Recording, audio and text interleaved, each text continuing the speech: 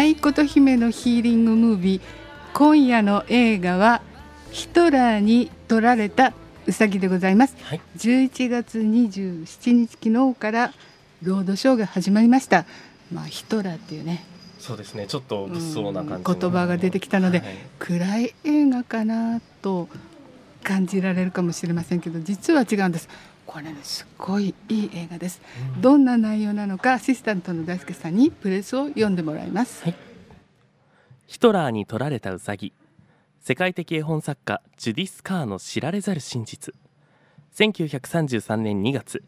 ベルリンに住む9歳のアンナは兄のマックスや友人と共にカーニバルを楽しんでいた。しかし同じ夜クラシックのコンサートに行く準備をしていたはずの両親はなぜか出かけないまま深刻な顔で話し込んでいた。そして翌朝アンナは家族でスイスに逃げると母から突然告げられる。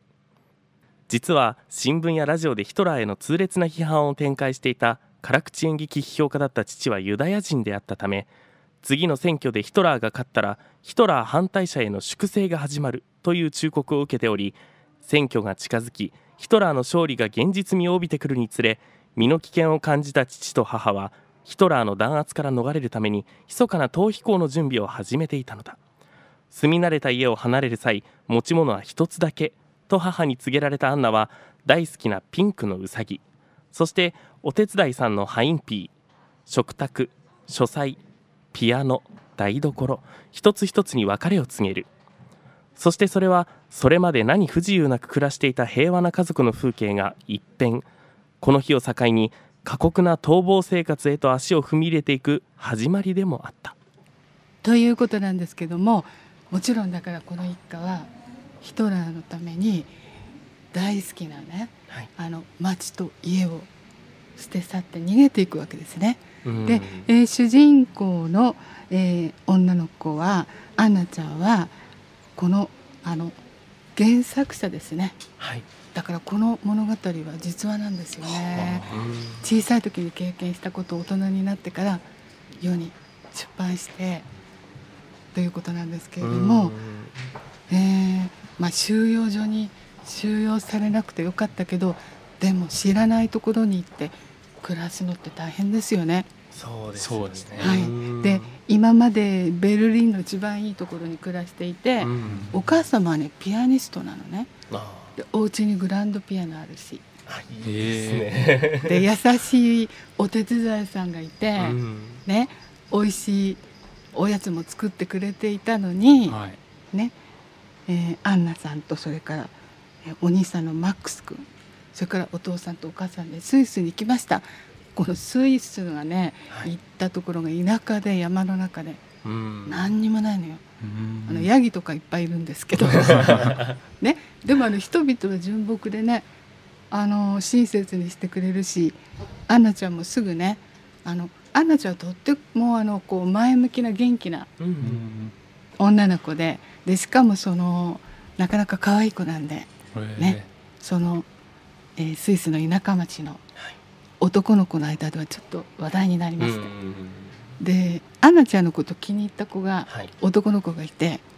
まあなんというかいじめに来るわけですよ。まあ、男の子ってそういうことするんです 気になっちゃうとね次ね。ねまあ小学生のことですからね。そうですね でもこの村でお父さんのお仕事がない。ねえ。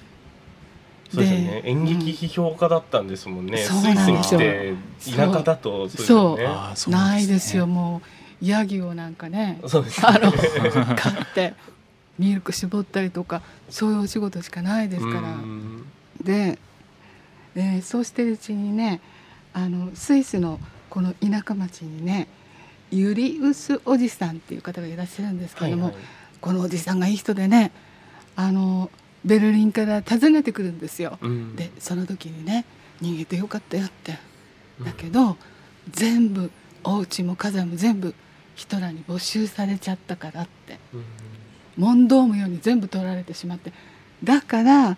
このアンナちゃんのピンクのうさぎもヒトラーが取っちゃったっていうのが題になってるわけです。あ。あヒトラーに取られたうさぎですね、えー、それが題になっています。で次にこの一家はフランスのパリに行きます。でお父さんがねあのエッフェル塔が見えるんだよって言うんですよ。で着きましたパリに、はい、すごい汚いアパートなの。狭くて、うんうんうん、1DK ぐらいだと思いますよ、うん、だからアンナちゃんとマックス君は一つの部屋で二段ベッドで寝て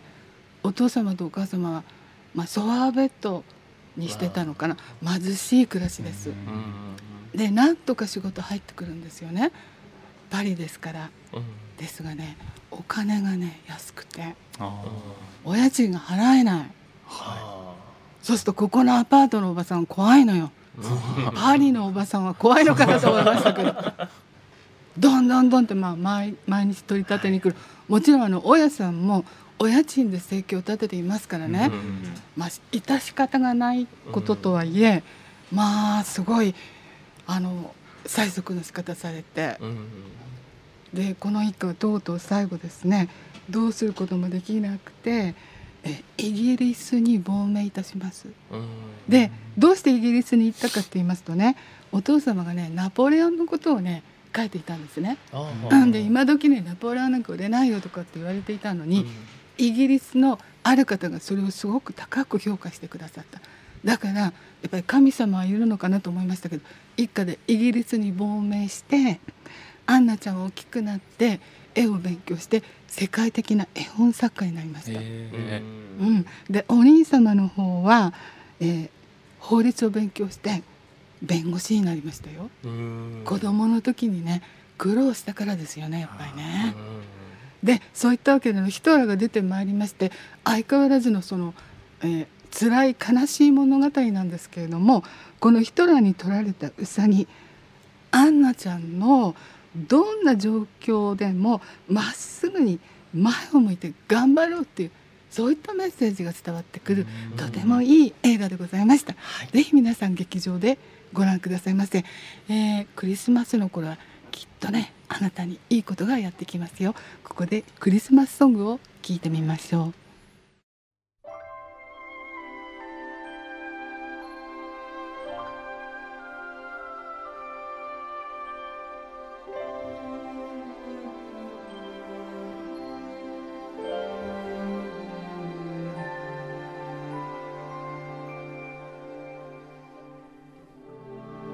Chestnuts roasting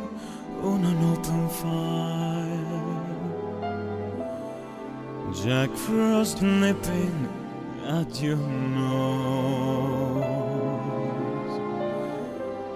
Yuletide carols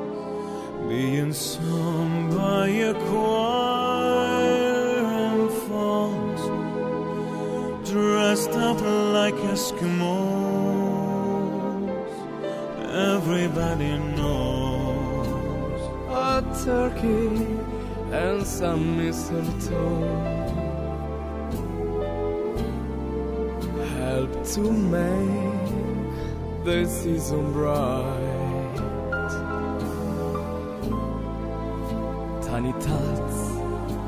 with their eyes all aglow will find it hard to sleep tonight. They know that Santa's on his way. He's loaded lots of toys and goodies on his sleigh.